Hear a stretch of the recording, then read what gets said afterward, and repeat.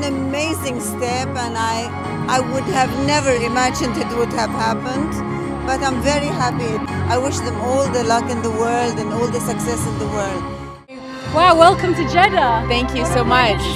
Thank you. It's wonderful to be here.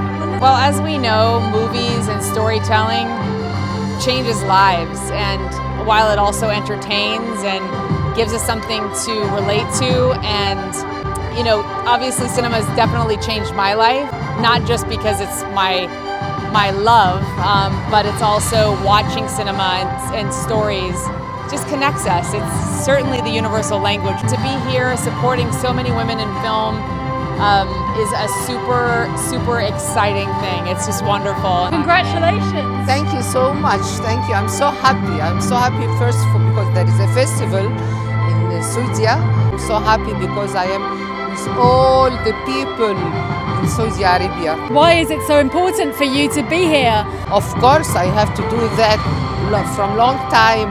Really, all the Saudi people uh, like me and uh, enjoy my movies. So I am here to support to all the, the new generation for make cinema. So happy. I feel so proud actually to see all of this. Why was it important for you to come? Uh, of course, this is an event I would have uh, never missed. I'm uh, present at the international film festivals, and uh, you know, it was about time to have an international film festival in our region, in the Gulf, in the GCC, to highlight all the talent. I'm super proud to see this, and I can only, I mean, I just reached, but I am seeing the magnitude of it all. It's so impressive. I know this is the first of many, many more. What does it mean um, to welcome everybody here to Saudi?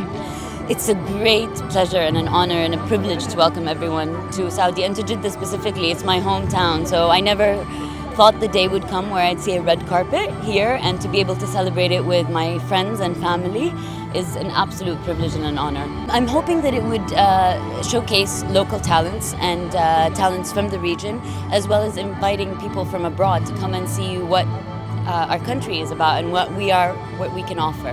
And also, I think it's a great opportunity for us to tell our own stories, finally. Emphasis in the festival to honour women. Why is that so important, do you think?